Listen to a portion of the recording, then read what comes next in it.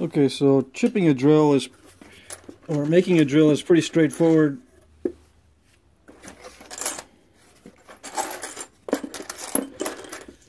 And uh, I think a lot of them were done on, you know, just preforms or broken tips.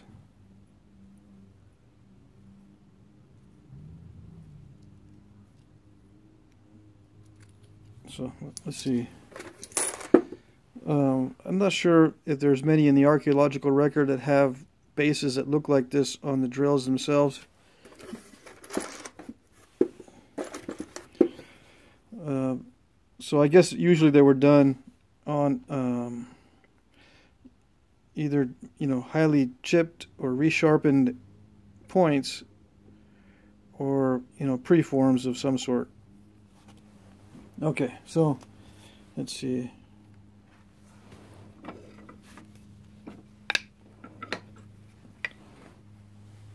Think I had a request to do a drill, uh, to knap a drill. So let me just do that quickly here.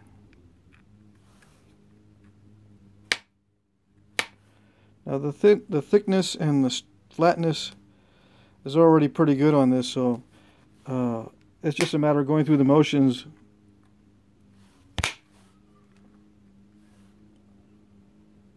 to get this chipped.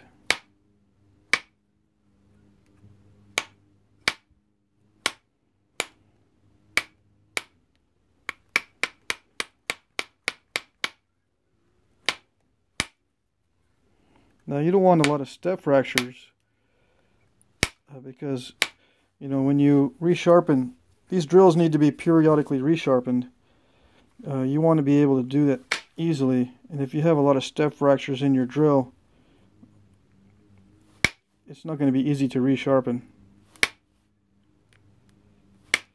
And um, you kind of want a large base also because when you resharpen a drill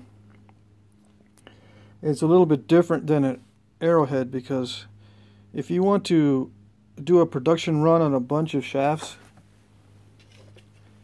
um, you know you want them all to match as much as possible so let's say I broke it on this one and I wanted to make an exact duplicate. You can, uh, you can do it, but you got to be really careful, and you take you take a little bit off of the whole outside of the drill, and you know the tip gets worn down a little bit, and these sides get worn down a little bit, and with enough resharpenings these drills end up looking like um, crosses or T's, where you know it's been resharpened so much that this base becomes just a thin uh, ear on each side. Okay, just as a side note, uh, if you look on, uh, if you look at some of the sources, they'll show drills that look like T's, and that's just because they've been resharpened a lot, or when they originally made the drill, they picked a preform that was kind of short, and they had to, you know, uh, get the whole bit in that piece, and they were only left a little bit at the at the bottom. All right, but ideally, you want to have plenty of room at the base for resharpening. Okay.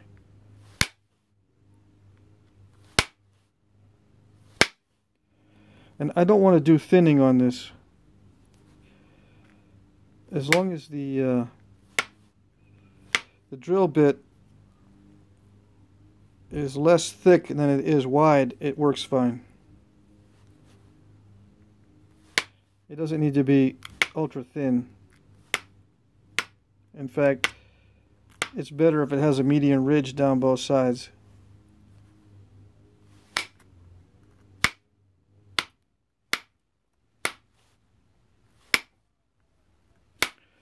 If you're going to haft this onto something, it's best to, you know, center the axis of the drill onto the base.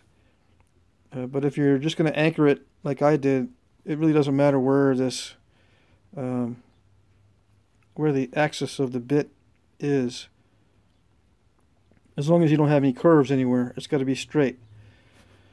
Uh, I think that's what dif differentiates drill bits from perforators is that the, uh, the drill bit has to be straight, both from the side view and the, the, the front view or the face view in order to drill easily and properly.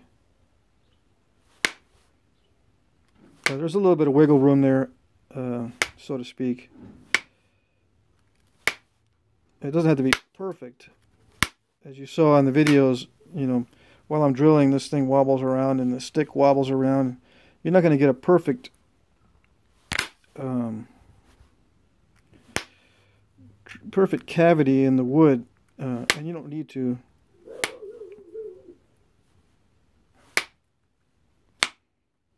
It's not precision work like modern work is usually very precise.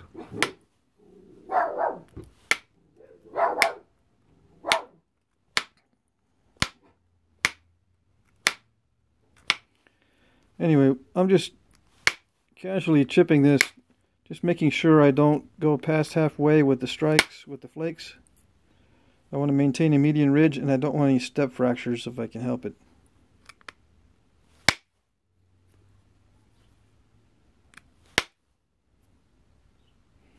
Now there's a there's a little boogery spot there. There it goes.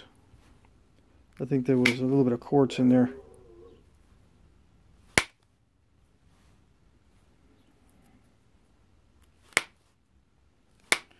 Anyway, you can also just bevel these. They don't need to be bifacial. Um, or you don't need to send uh, flakes across on both faces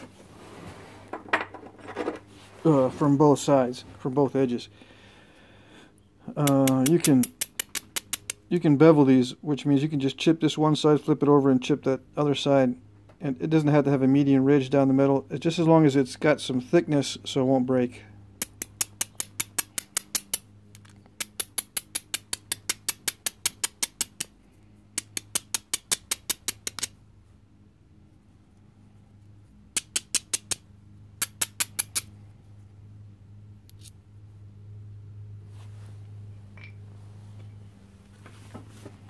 But on this one I am going to do flaking to the middle on both sides from each edge.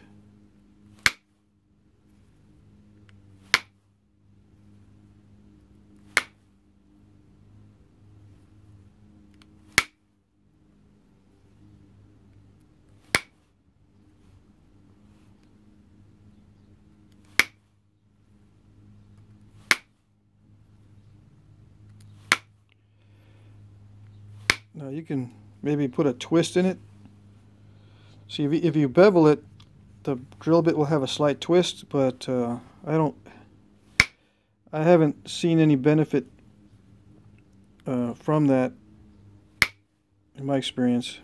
It doesn't make it drill any better.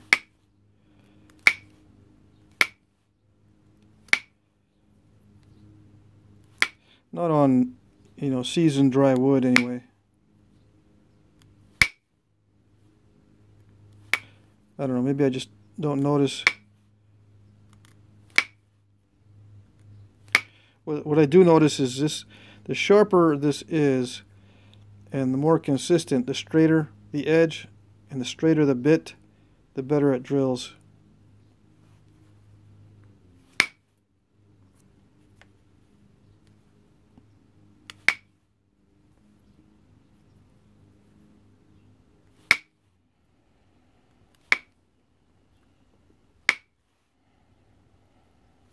So, to me, a, a wood drill is very, very straight, consistent thickness, and a, a perforator or something to poke uh, holes in leather uh, can be curved either that way, you know, curved this way or curved that way. It doesn't really matter. The perforator, uh, it doesn't, it doesn't uh, have to um, be precise. If you're gonna just gonna poke holes in leather. Okay. I mean, it does need to be strong if you're going to be poking holes in rawhide or something like that. But it doesn't need to be perfectly straight. Not like drilling wood.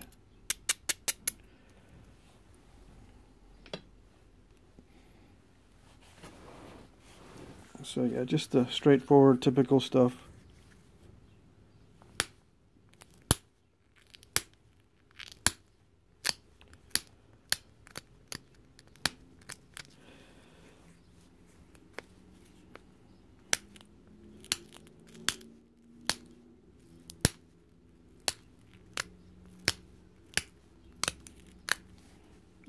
Uh, straightforward and typical as far as the flint knapping goes. As far as the I think most drills in the past were made with uh, pressure.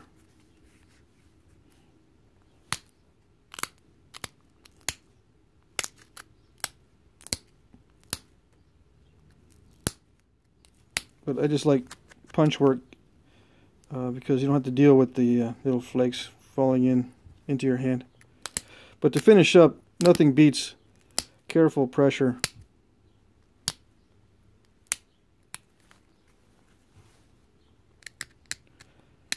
And I like the, the drill bits to be a little bit rounded on the on the tip and not really pointed. And again, that's probably a way to tell the difference between a perforator or a hole punch and a, a wood drill. Is a wood drill will have a rounded tip. Because that pointed tip will just break off right away. even if you have a soft pith, eventually that sharp tip will break off.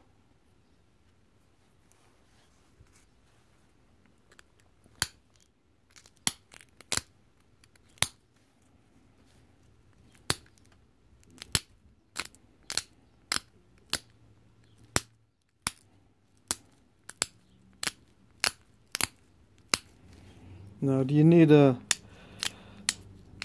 do you need that hollow ground, you know, scooped out pressure flaking?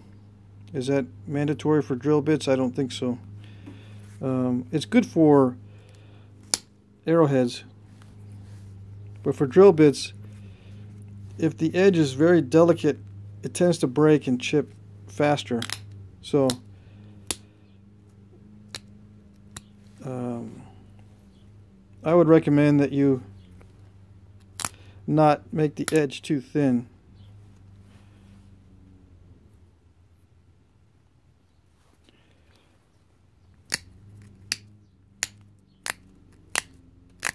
And I think you know what I mean by hollow ground. Uh, you know, when knives are ground, sometimes they, uh, instead of grinding them flat like this, you grind them kind of scooped out, and it creates a very thin edge or a hollow ground effect. And you can do the same thing with flaking. Those little bulbs of percussion can scoop out that blade and leave an extremely thin edge. But I don't recommend that for drills. Like I said the uh, the the edge will chip very easily if it's too delicate. And you'll get uh,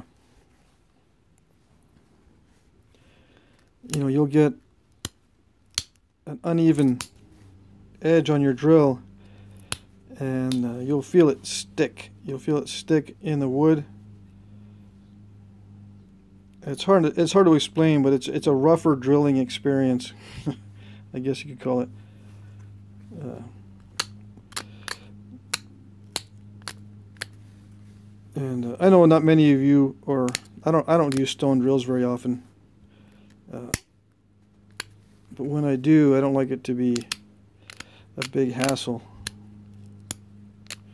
And having a nice uh, straight edge is one of those things that makes it easier.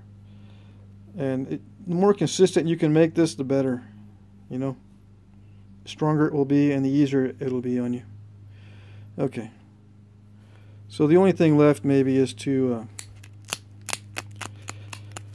uh, uh, grind down the edges that you'll be touching.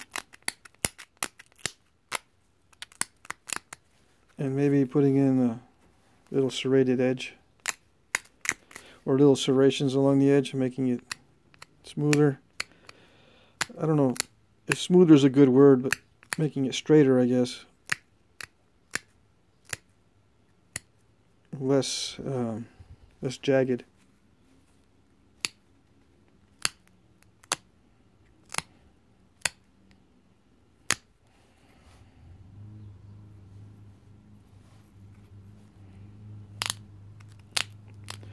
I've got a few uh, areas that are kind of thick that I kind of crushed and it's best to get rid of those areas and, and you know uh, either with a fine tip or just kind of power through those. So you don't have any crush uh, any crushing on the edge at all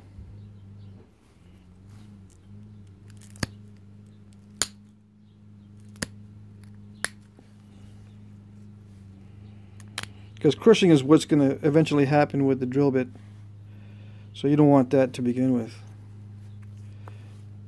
You know after the edge crushes and becomes dull you know you resharpen it. You don't want to start with a crushed edge. It just shortens the life of the drill bit. Or it won't be as long as it could have been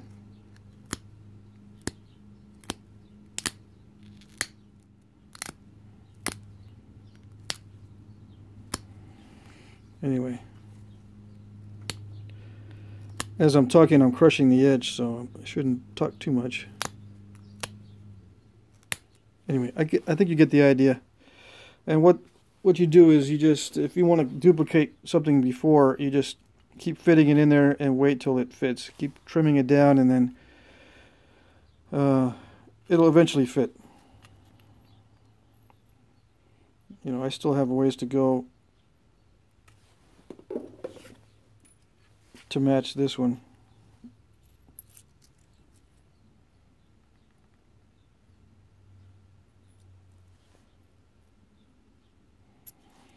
But there you go. This will work too. I mean, it doesn't need to be this thin. I just wanted to show you something that thin. Because uh, it looks kind of delicate, but it's, it's actually not too bad. It will snap, but it's actually not too bad. It's not too weak. It, it will do the job on uh, relatively soft wood like red osier. Uh, I think ha hazelwood is also one of the softer woods. Um, and there's various other ones. As long as it has a good a good sized pith, uh, chances are it's soft enough to drill easily. Okay. There you go.